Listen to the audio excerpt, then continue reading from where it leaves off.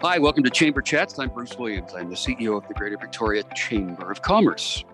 In the comfort of my own office today, I'm usually in the studios at CHEK Television, but doing it from my cozy little office corner here today. This program is made possible by the support of Island Savings, a division of First West Credit Union. And I'd like, as always, to acknowledge that I live and work in the ancestral territories of the Lekwungen speaking Coast Salish nations, the Songhees, and the Esquimalt. Well, it's no surprise to anybody that the film industry has been growing and growing and growing on Vancouver Island. We see them in remote locations, we see them on the streets of Victoria, we see them in Ladysmith, they're all over the place. To go along with that, to grow the industry, there are plans underway right now to create film production studios. We're going to talk about two in particular. One of them is being done in collaboration with the Malahat Nation. The first, though, is something that's being proposed in the district of Saanich at the interurban campus of Camosun College. And Jeff Wilmshurst is the VP of membership, uh, sorry, partnerships uh, at uh, Camosun College, joins me to talk about that. Hi, Jeff. Hey, Bruce. How are you? Good, thanks. So, if people can kind of imagine that campus in their mind, where is the proposed site for this film studio?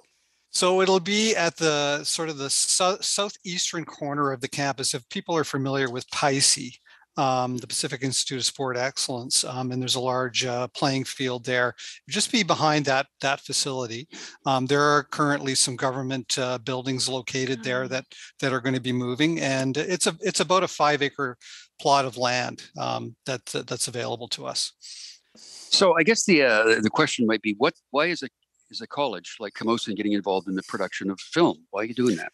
Yeah, and our, our interest is not in the production of film. we we want to support the film industry on Vancouver Island. Um, our interest is is seeing the education piece come to light. Hmm. Um, mm. What we know is that as productions uh, increase and have been increasing on Vancouver Island over the last 10 years, that there's going to be a real need for education and training in the film industry. Um, and if we build, uh, you know, in partnership a film studio, which we wouldn't run ourselves, we would we would do that in partnership with a film industry leader. Um, that there'll be uh, education and training uh, needed for that for that um, for that entity. So, what faculties are we talking about here? I can see something like set building, um, yeah. Oh, so tell me what it's what's involved. Which curriculum? Yeah. So you know, it's I, I, would say that to put it in a nutshell, it would be primarily for us trades and technology. Um, so the trade side, it's all the behind the camera stuff, um, everything from production assistants to gaffers to set designers, costume designers, um, hair and makeup. Um, those would all be areas that that we know that there's a there's a demand for for education and training, and that we would be interested in getting involved in. And on the tech side, um, all of the post-production work that happens in the film industry now super important to have people trained who are able to do that work. Yeah because not very much is really done in actual live locations as much as it's done virtually with green screens and enhanced uh, animation and stuff. So yeah it's is that something it, that, sure. is there room for that to grow within the curriculum? I guess there is yeah, I mean, we, we actually don't offer, um, we, we, we kind of offer things on the periphery of that curriculum now at Camosun, but um, certainly there's room for, for us to add more on the tech side. And, and what we know is that the demand for those kinds of jobs and, and for that kind of training is much higher than the actual training opportunities that exist. So this is a pretty cool thing to combine all those things together. It's almost like it's, is it public private? Is it fair to say it's that?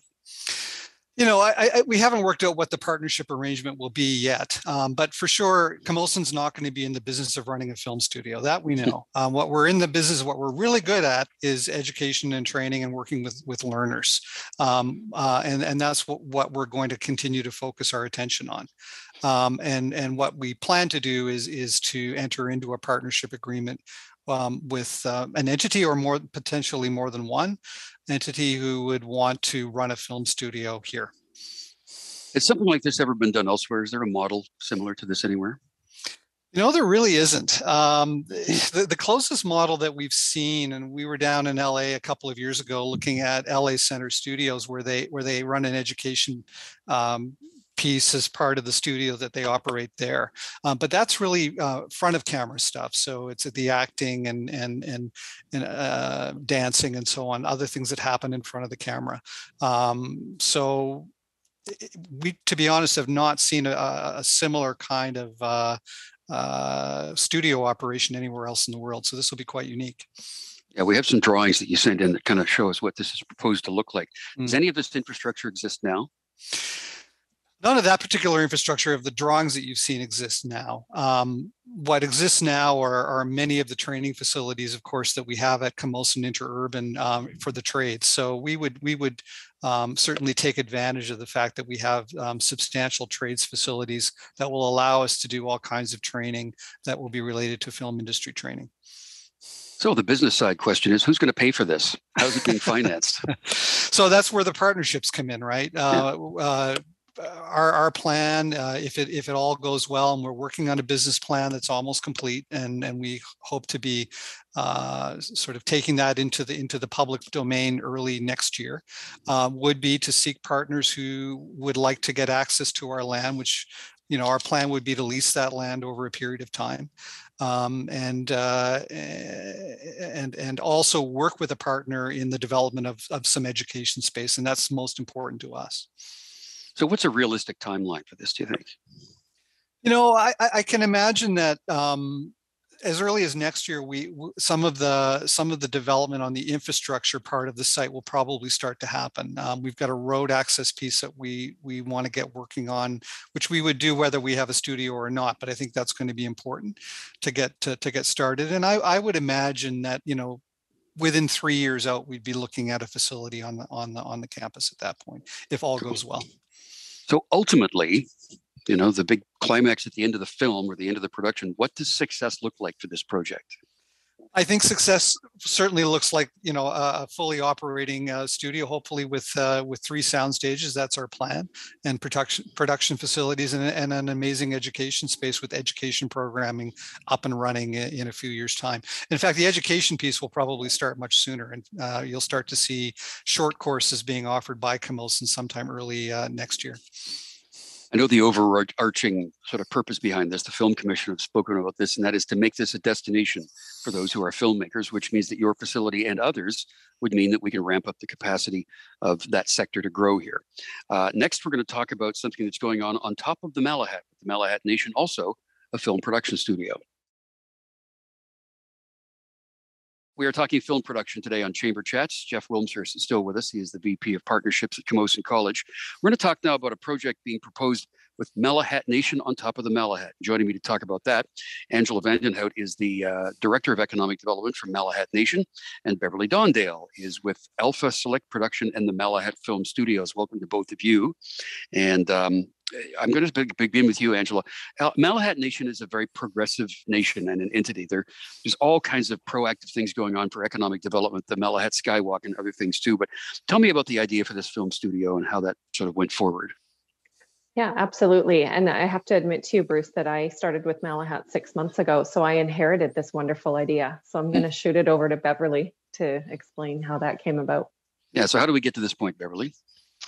Well, it, it started in 2017. I uh, was doing all sorts of um, investigating of building a film studio and i had many iterations i watched a lot of people try and fade away over the years over the 10 years that i was doing this and uh, we basically I, I i just wanted to have diversity built right into the film studio and so I wanted to figure out a way of bringing in First Nations into the the um, production. And Malahat had the the amount of land that we needed, and they understood not only the scale, but but understood that I wanted to be a partner with them. That it wasn't just leasing land; that we wanted to work with them and uh, and make this huge film studio. So, Angela, how does this fit into the aspirations of Malahat Nation and how you want to uh, grow business for your members? Uh, business success to us means more than just the bottom line. Um, the you know positive revenue stream is a given, but beyond that, it means um, you know adherence to and respect of you know the social community of the Malahat Nation, uh, reconciliation and respect for the lands and its people. I think at its very core. So any initiative that we move forward has to respect those basic parameters before we'll even explore it. And with Beverley's passion for uh, reconciliation, her openness, always asking questions, uh, the best way to approach things, it aligns perfectly with the type of business that we would pursue. Yeah, because Angela, I mentioned the Skywalk that opened up very successfully this past year, and this project, some other things that the nation is doing along the waterfront in Bamberton and other areas. Yeah. Um, this is very transformative, isn't it? Absolutely. I mean, e- even just on the level of scale, right? It is really just empowers, I think, any nation who would push forward with a project like this to show um, exactly what they're capable of. So, yes, it's incredible. Yeah. Okay. We saw a little bit of what's planned at uh, Camosun and Beverley. Let's take a, a, cha- a, a conversation direction and talk about the facility you're going to build because we have some images to show people. This is quite complex. I mean, there's a lot going on here. Kind of There walk me through this. So it, it took time to get there. I initially was looking at a retrofit and one purpose built. And one of the big things that was very difficult to do is to get uh, the the equipment providers to come to the island and stay here on something so small. And so over the years, I just kept adjusting and trying different things. And it was only when I got to that five studio, um, five sound stages that people started getting interested. The one stop shop for me being in production was really um, reducing the cost of bringing equipment here and diverting waste from the landfill. So I, you know, bought a location kit and a wardrobe kit because I wanted to avoid having it go to the landfill and because there's there hasn't been traditionally been back-to-back productions. So that's where the one-stop shop came in. And so that is ensuring that we have all of the equipment and services as close as possible. And so that's where that came in. The location required a hotel. We needed to have a hotel. I know a lot of people um, think everybody's going to go to Victoria, and they will. But there's going to be a lot of need for uh, the the hotel close by. Uh, we we also want leisure guests, so it's not just for crew, but it's also for leisure guests. And and and um, Angela will speak more about that. But it, it really is about creating that tourist uh, approach so that people can come and tour the studio and and and see what it's all about. And eventually, we want to have um, like either you know affordable housing but also condos above the shopping village that we hope to have in phase two So you said a key word there, village. Angela, you're basically creating a village here, aren't you? Mhm. Yeah, absolutely. I think, you know, building upon the momentum of the Skywalk, we really want to um, increase your your stay within Yeah. the Malahat region. We want you to come and this is your destination and you can spend 3 days here no problem with with everything that we have. That's really the goal. So absolutely. Well, you look at what Universal and Disney have done in different parts of the world, right? They Mhm. build around that whole entertainment piece and they Yeah. and they go from there. Um, Jeff, I'm going to come back to you for this as the plans move forward. The pandemic has probably adjusted people's plans and their course on doing this and supply chain and all the rest of it. How much has that come up in the conversation? You know, it hasn't come up very much yet. Um, we, you know, because we haven't hit the construction phase yet, obviously, and and we'll have to see uh, whether there are impacts because uh, due to the due to the pandemic or not. But what I, you know, what I want to say also, though, Bruce, if I might, is uh, how excited we are about the Malahat project as well. Um, from our perspective, the more sound stages we have in southern Vancouver Island, the better. Um, it's going to mean that um, the the equipment providers are going to be highly attracted to come here. We're going to have um, all of the crews that we need, and we're going to have, we're probably going to attract a lot of people back from lower mainland onto Vancouver Island who are in the industry who want to come back and live and- work here, who may be from here originally, and that's the story we're hearing. So huge supporter of the Malahat project, and and we want to see all of these projects go, and we think there'll be more. Um, so not very worried about about the supply chain stuff yet. Uh, we'll worry about that when when the time comes. But uh, right now, I think it's it's really exciting times for the film industry here. Yeah, uh, Beverley or Angela have seen anything come up about supply chain, if that's going to be a worry, anything like that? well I, i'm i won't speak to the construction part but i will speak to the the change of thinking since the pandemic has happened. Before the pandemic people did not understand the scale that i was going for Uh, it- literally people thought it was a crazy idea and that it was impossible on the island that it would never happen and and as soon as people started going through all of that Netflix content and people ran out of shows, all of a sudden people started understanding the need for for those sound stages and more production facilities. So that's what I would say as far as the the change in mindset since COVID. And again, we're not um, at the the the construction st- stage, but Angela can speak to that because she's doing stuff on Malahat. Yeah, I think, you know, just to add the localization uh, of our focus is just the mandate of our project. The one stop shop was just further solidified by, by the pandemic. Uh, the ability to be able to resource everything within your community is um, very advantageous. So, if we can create that hub on Vancouver Island, I think it would be incredible for our economy as a whole.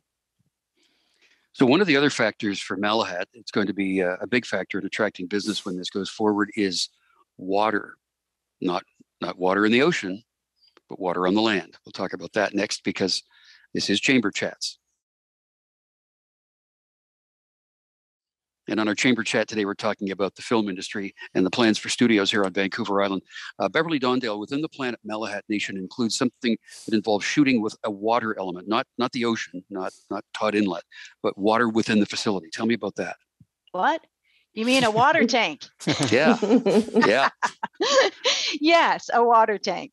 Um, and that's the um, that that expertise actually comes with um, Nico Decker and and Nick Studios. And uh, so we actually are going to be delaying that for a little bit and waiting for production to require it.